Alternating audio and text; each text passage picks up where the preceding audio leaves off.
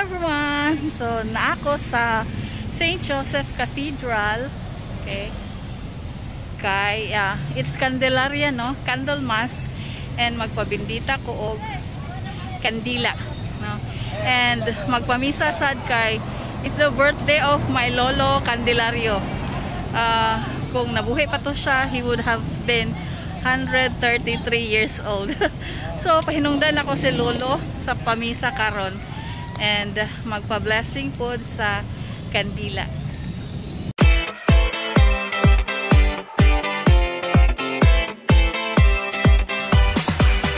So, um, I'm so thankful no nga ang akong opisina karon at bang nagyod sa cathedral Mayor San Jose.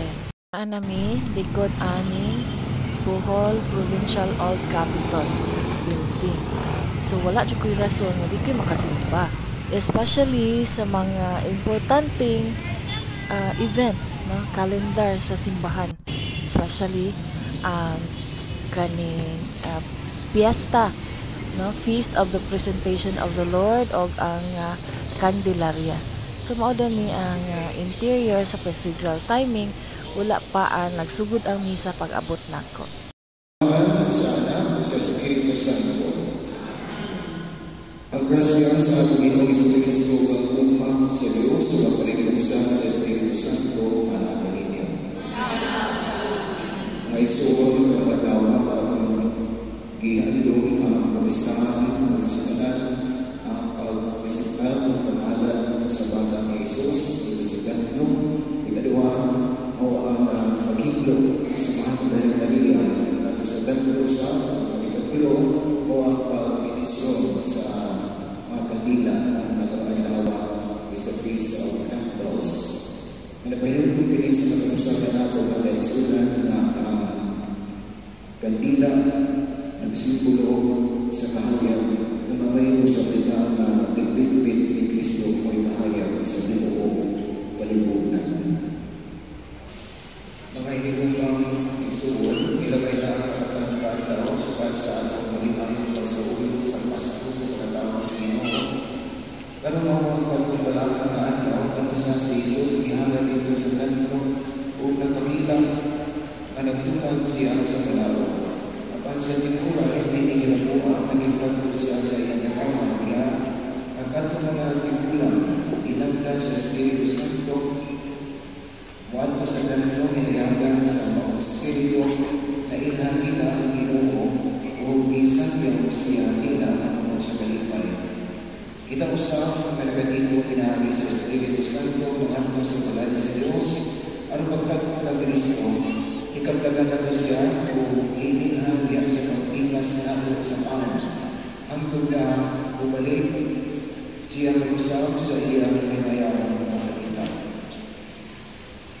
Pag-ampo kita, O Diyos, sinundan o sinundan sa lalang kahayan, karawalawa ikong ipakita kang sa iyong mga mata Mamatao ang bahayan na magpadayag sa dalan alang sa ating Diyos.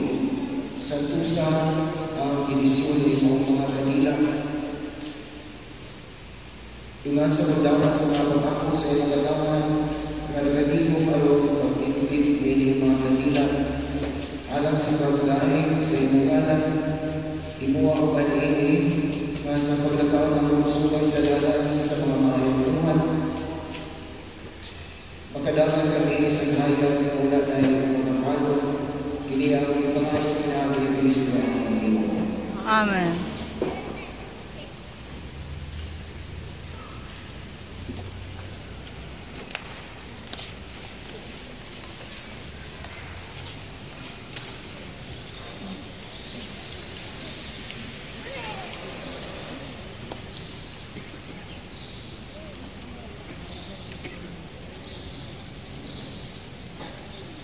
Pagkahapon, ni ato mi sa Dampas Catholic Cemetery para moduaw sa lubnganan ni Lolo.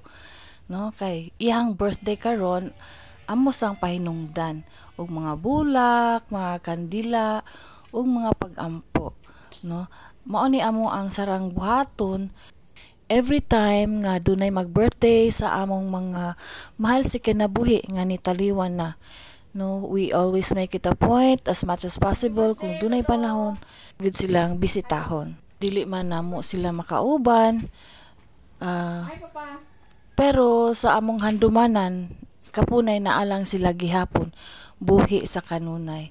That's how we value them and love them. Og after sa minteryo ni ato sa honcho kay mo palit og lechon, no? Naka-timing gid ko ani nga lechon nga bago pa init pa.